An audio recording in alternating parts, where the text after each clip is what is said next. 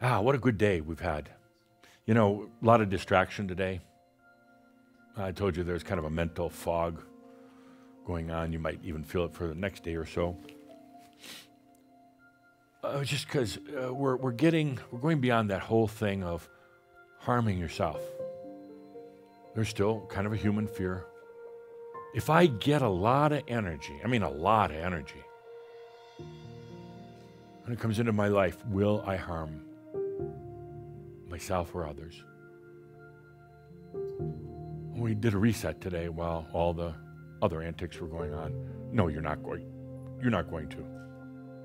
You're not going to. And while I was chatting away and doing my theatrics, you actually kind of put in a little switch within yourself that would actually even prevent you from doing that. Kind of a guarantee that you're never going to use energy to harm yourself or others. Why? Well, because you're a master, you've got the maturity now. Yeah, you still have a lot of the old bleed through remembrances of things you've done in the past, but that was in the past. Let's take a deep breath.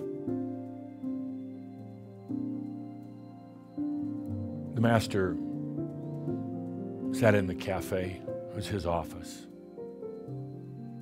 He'd been there for about two and a half hours, working hard, working hard, uh, sipping his cappuccino, eating three croissants today, observing people.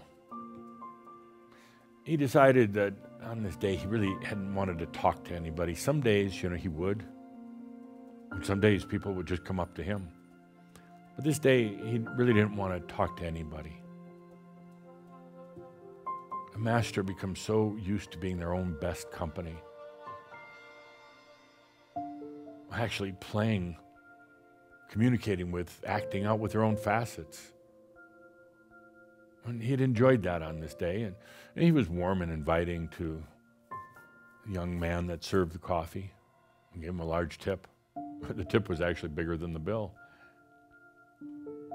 But after a couple hours, he knew it was time to go put in a hard day sitting there at the cafe, shining his light.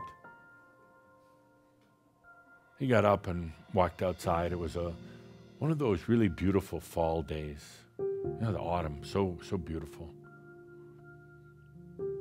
The air was still relatively warm, but you know what it's like on those autumn days where you can just feel kind of winter in the air, kind of a little, a little whisper of winter floating around in the warm autumn air.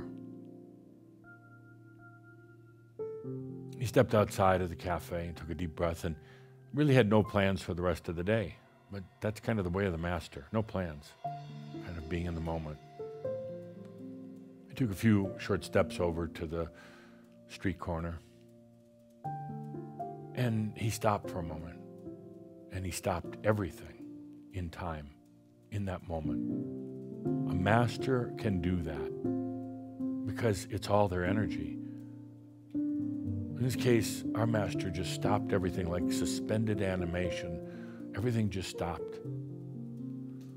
And he looked around and he, he stopped it intentionally because he really wanted to observe. It's something that you're going to find you can do. You want to do. You just observe. And there's no fear of, some of you fear being judgmental. No, observing is just being aware, being, I mean, awareness, that's, that's the soul itself. So the master was aware of everything. Now, in kind of just suspended animation, time stopped. And he observed. He saw, almost right in front of him, that there was a distracted driver, somebody that was um, sexting, just to make the story interesting, on their phone while they were driving, forgot or didn't see that the light had turned red and another car or two had stopped in front of them and observing the master could see almost imminent crash probably wouldn't cause too much physical damage but probably was going to lead to at least one car being totaled and a few other cars having significant damages. And on top of that, when he felt into the energy of the sexter, offender. That person didn't even have insurance. Oh boy, was their life going to be tough. Hmm. You know, the master didn't try to change it, just observed it. Imminent crash. Master looked down the street. Not too far away was a new mother uh, with her first child, pushing the child in a stroller.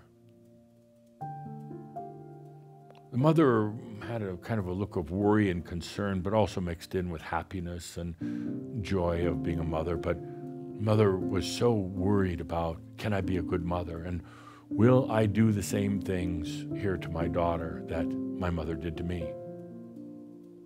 That energy was so clear, and Master could see it. And then in the buggy, the little baby crying and crying and crying and crying. Hmm. that little baby crying, six months old, because she really didn't want to be here. the mother thought it was colic or, I don't know, gas or whatever, but the baby was crying because it didn't want to be here. That happens so often. People, kind of reincarnation is kind of spontaneous, not often even a conscious choice, it just happens. The little baby was crying because it knew it had another 60, 80, 100 years ahead of it on this planet. I'd be crying too. The master looked in the other direction and saw a bicyclist with a flat tire. You know, there's not too many things in this world that really show more anger than a bicyclist with a flat tire. I mean, this bicyclist was angry. Middle aged man, all dressed in spandex.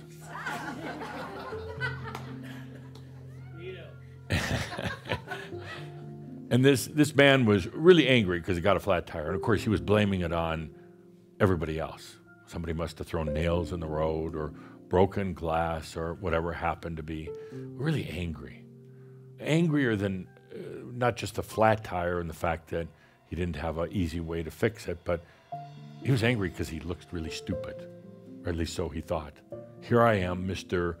Uh, bicyclist, Mr.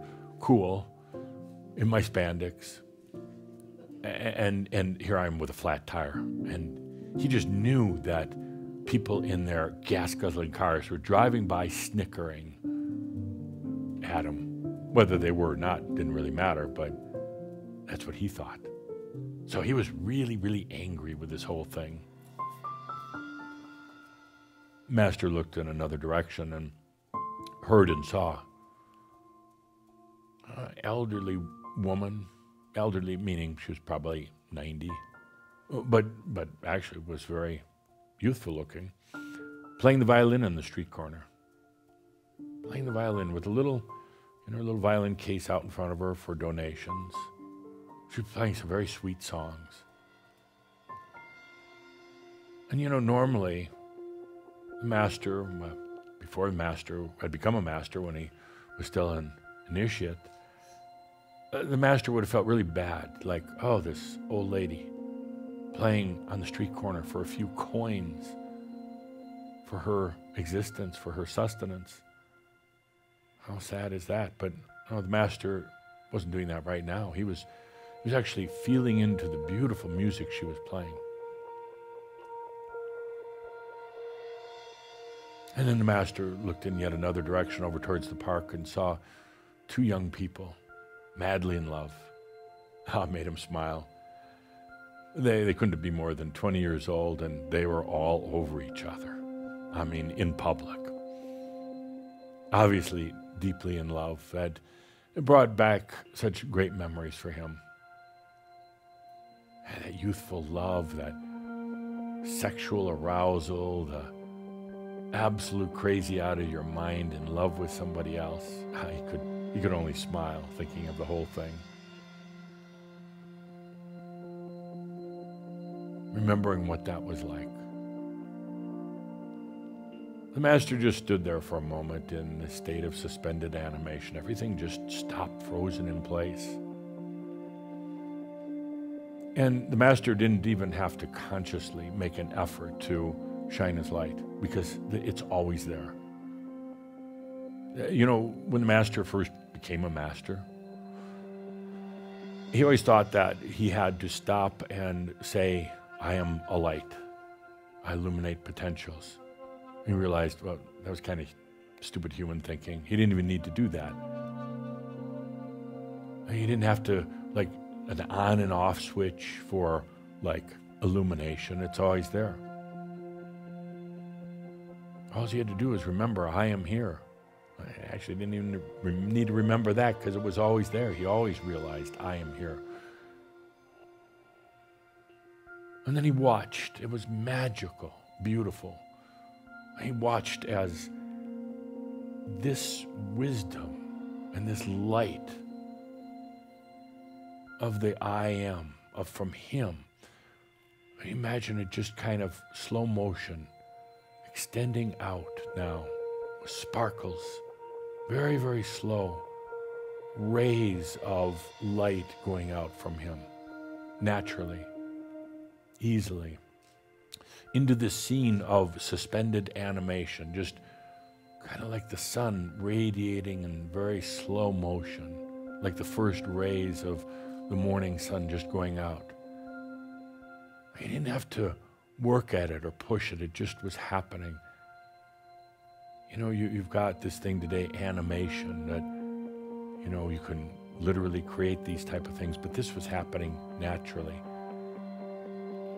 Sparkles, the rays of lights going out to each and every person in this little scenario.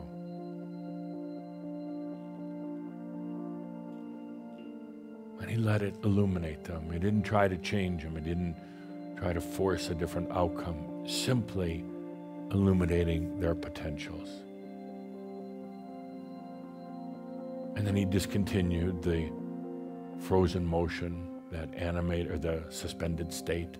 He discontinued it and everything went back to normal. And he had a big smile on his face. He had a great big smile. you know, it's so effortless. It's with so much compassion, not to try to change anything, but just show others what can be, what can come, what the other potentials are. Because you see, humans, they don't really, they're not really that good at seeing potentials. The masters who have come in the past to this planet, they actually just were ones who showed humans there are other potentials. That's what you're going to be doing.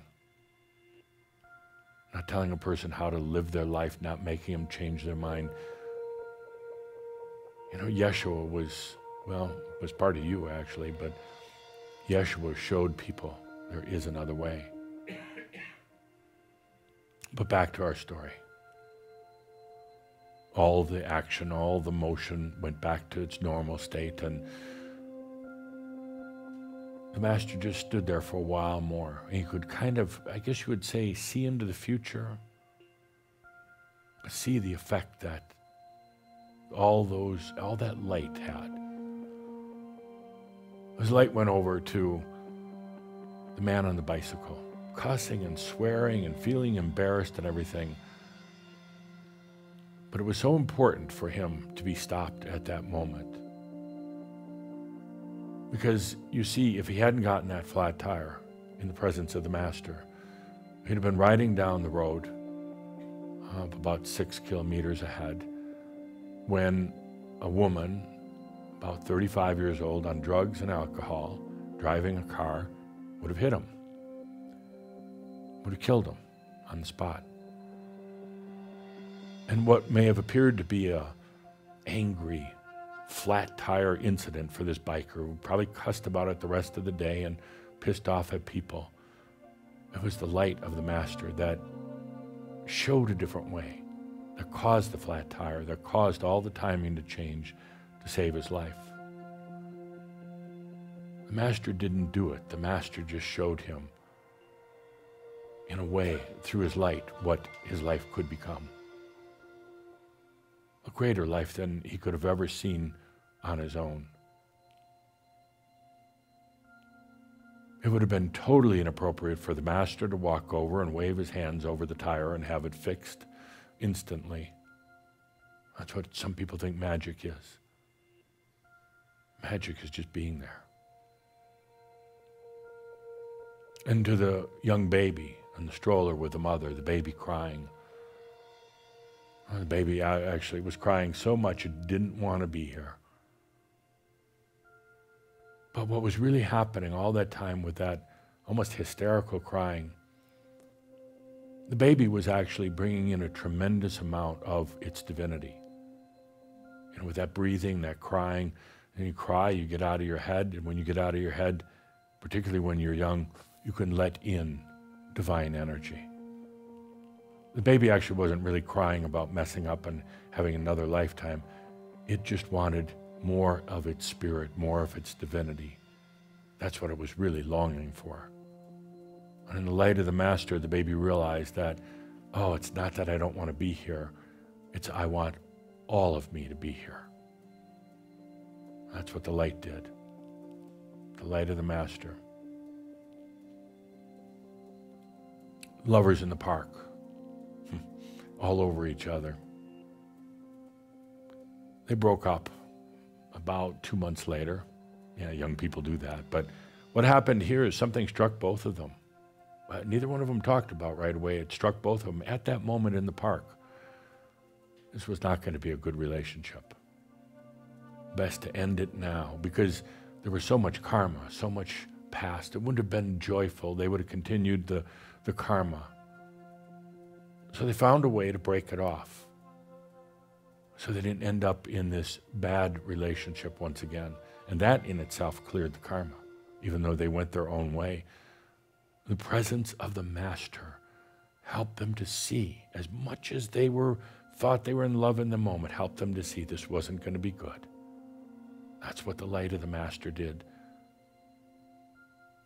The Master didn't have to walk over to him and tell him that, oh, by the way, you got big time karma coming up if you're together and you're going to have a miserable life and you're going to both detest each other. One of you might kill the other one.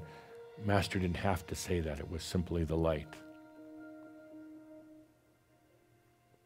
And then there was the car accident, almost car accident, texting and driving and going to smash into each other. It just, it, it would have caused so much pain in that person's life at that moment if the accident had taken place. It would have caused pain in the life of the people in the car ahead of it. There were some elderly people. An impact uh, that degree would have caused them serious injury, and there was a car in front of that with a few people in it, a few kids, that would cause some physical damage and maybe emotional damage. And in that moment, in the light of the Master, when everything was in a state of suspended animation, a person on the phone doing their texting and sexting, and that suddenly became very aware that their irresponsibility was about to change their life and other people's lives. And in that moment, that person realizing now, all in slow motion, putting their phone aside and seeing this other car coming up quickly, I mean, their car coming up quickly on another car, knowing that an accident was about to happen and it was going to be very serious. It didn't happen. They hit the brakes. There was a lot of squealing and skidding. And it just didn't happen. And how it didn't happen had such an impact on the driver why it didn't happen. E- even later on, everybody got out of their cars just to make sure everybody was okay. And everybody said, I don't know how you stopped your car in time. It must be because you're driving a, an electric car, whatever. They made excuses, but the fact is that magic happened in that moment. That person in that moment saw a light, a greater potential. There didn't have to be an accident. It didn't have to cause years and years and years and years of suffering. And that person in that moment changed the course of their life. became much more responsible. Stopped being so distracted and actually went on to find their passion. All because of the accident that never was. But it caused such a scare with him for that moment that it was life changing.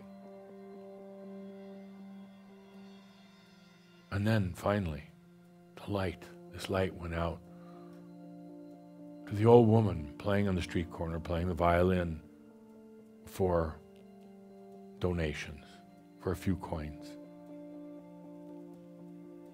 The master knew all the way along, even before he suspended time, he knew all the way along that was another master. They didn't like park benches or cafes, so this master chose to play the violin. The master didn't need any money whatsoever. And the master was young or old, it didn't matter. The, that master, that woman, chose to appear as an elderly, maybe poor woman. So she could sit there and play the violin, and her notes were also her light as she played. People walked by, and some tried to ignore her, you know, because it was uncomfortable to see an old lady having to play a violin for money. Other people got it the magic of her music.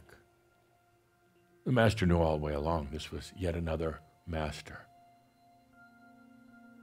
I gave him a big smile because she was out there working, doing her stuff, shining her light to the world. Maybe it was her light, he thought, that changed the very nature of every one of these incidents. Maybe it was both of our light. It doesn't matter. Because all that matters is they saw something different. They saw a greater potential, and then it was up to them. The master gave the other master across the street, the woman playing the violin, well, she was smiling. She was really smiling at the master. She knew him. She knew who he was. He gave him a big smile. He gave her a masterly nod back. They both put in a long day, shining their light, opening up potentials to others. That's going to be the work you're doing. That's it. You want to know what comes? You want to know what you're going to be doing? That's it. That's a typical day in the life of a master. That's it.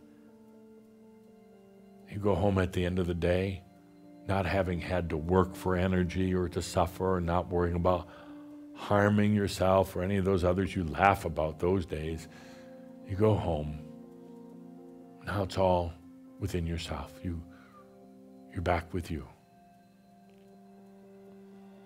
You go home at the end of the day knowing that you're making more of a change on this planet than anyone could possibly imagine. Let's take a deep breath. That's it, dear friends, that's it.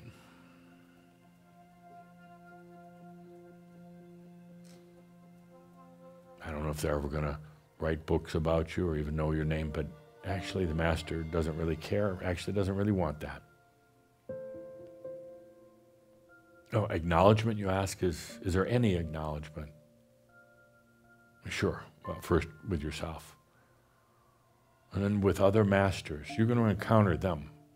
Whether they came by way of Shaumbra or some other way, you're going to know that that's a master sitting over there playing the violin they're doing the same thing. They're just they're just staked out around the world, whether it's a coffee shop or a street corner or well, maybe a busy airport or anything. You're just going to know. Here, I acknowledge you. You acknowledge me. We're doing what we came here for. The acknowledgement is also from the Ascended Masters. When you come to the Ascended Masters Club, they will have known what you've done more than anybody. They're going to be a bit envious because, well, they didn't do it. They didn't stay in the body for the most part. They left. They're going to be a bit envious. I'll give you some tips and tricks on how to deal with ascended masters. They're going to be so filled with joy for what you've done, they will know. Even if not another human on the planet knows what you've done for this place, they will know. Let's take a deep breath. The life of a master.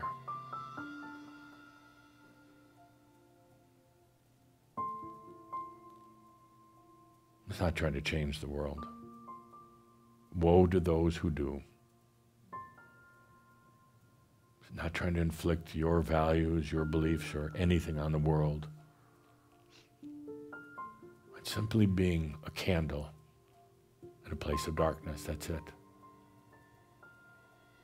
The candle doesn't try to change a thing, the candle is just there. The candle doesn't curse the dark, nor does the candle try to become brighter. The candle doesn't try to heat the room, it doesn't try to save the darkness, none of that. It is just a candle. And within each and every one of you, that candle is burning right now and has been for a long, long, long time. You just forgot about it. Let's take a deep breath now. Candle is a metaphor, of course, but it is so valid right now. Take a deep breath. Under that candle of wisdom,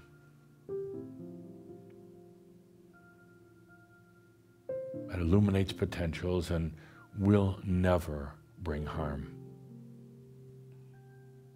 Let's take a deep breath for your journey that's brought you here and what comes next in your lives.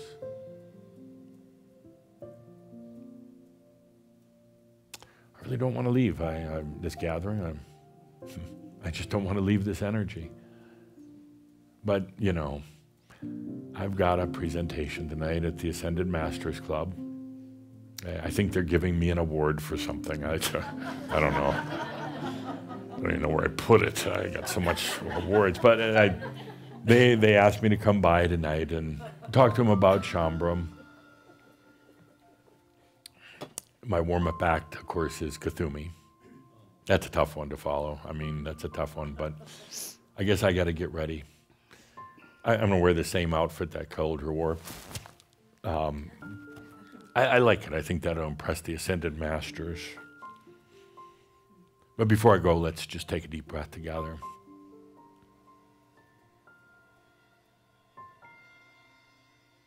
Enlightenment is a given. That's not the reason why you're here on the planet. You're here to be a candle, to shine your wisdom and your light. That's it.